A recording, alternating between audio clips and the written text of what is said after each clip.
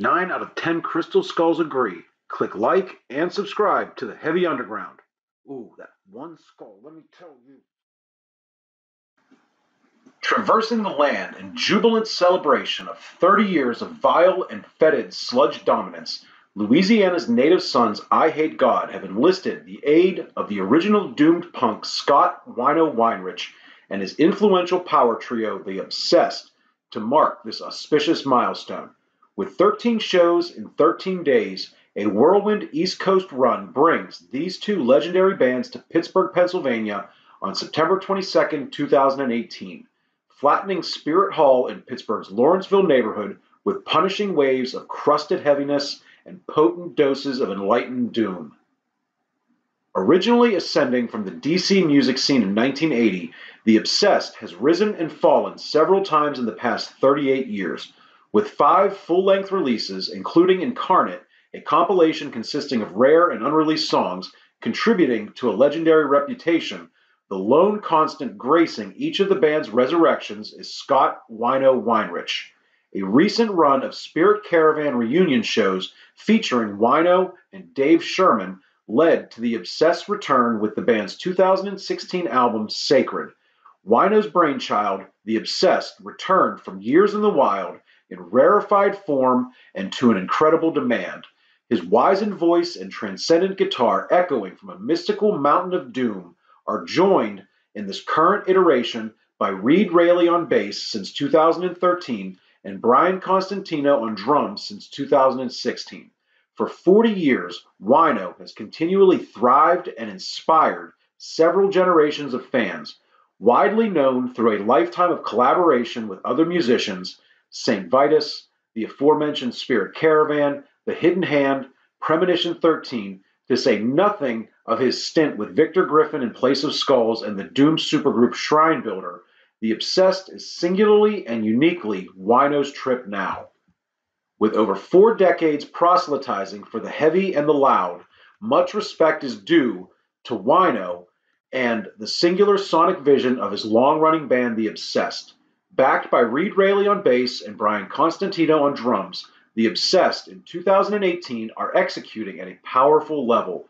Always searching, always inquisitive, the music of The Obsessed keys into timeless concepts of truth and freedom.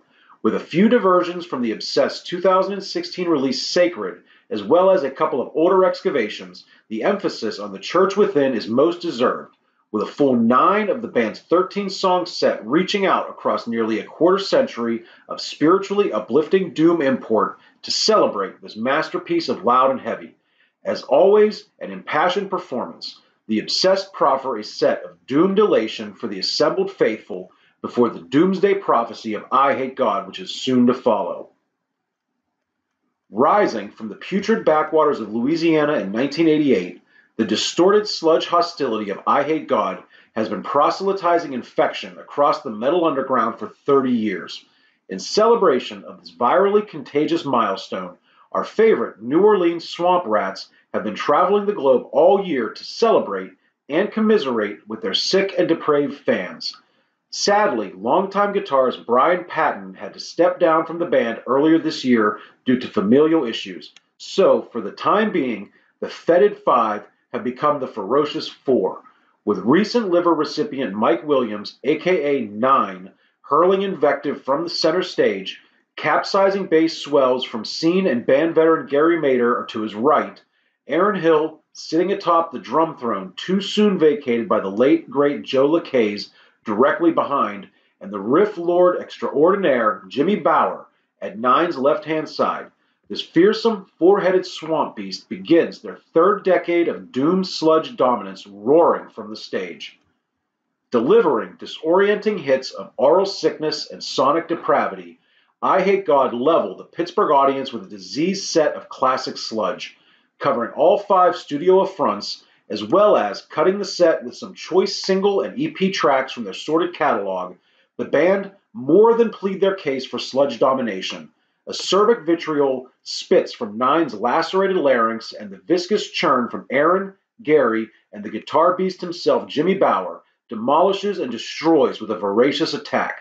While Brian Patton's presence creates a thicker mix of swamp gas and bile, The current configuration is a foursome, sharpens the edges of the band to elicit a more vicious bite from their already hostile affront. A thoroughly brain rattling night from the masters of down to earth motherfucking post amplification blues. Here's to 30 more years of gloriously sordid sonic misanthropy.